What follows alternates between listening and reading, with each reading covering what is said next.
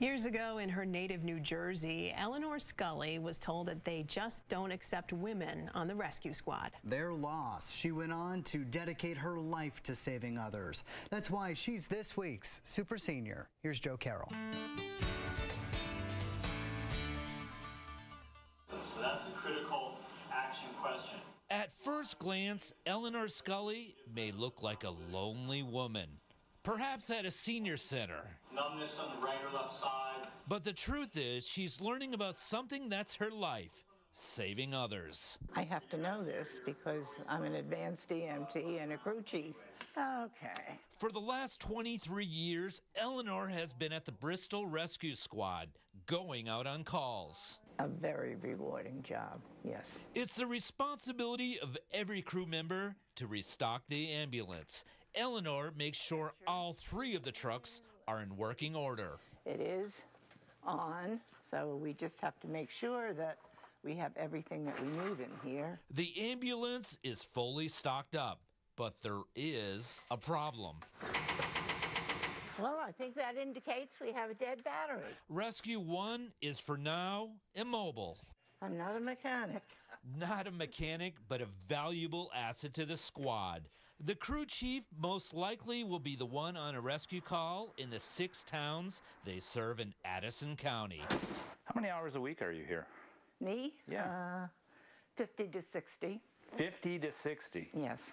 She does five shifts a week. And what's remarkable, she's 84.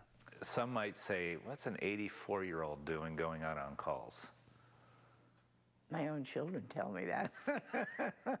More power to her. I mean, she's an asset to us. Without her, we wouldn't have a rig out every single day.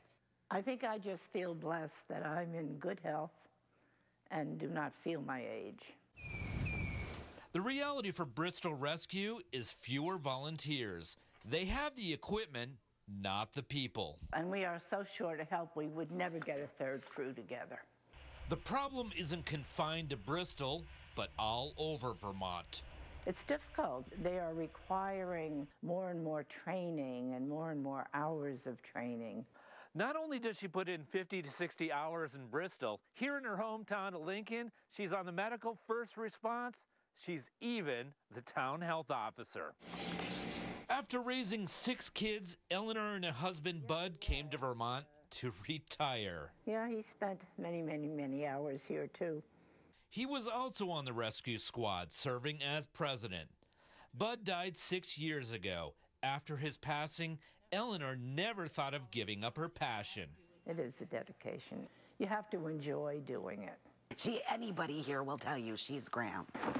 As a little girl, all she wanted to be was a nurse. Some more in there. Eleanor set that goal, but offered so much more a seemingly ageless super senior who's helping others. Joe Carroll, Channel 3 News, Bristol.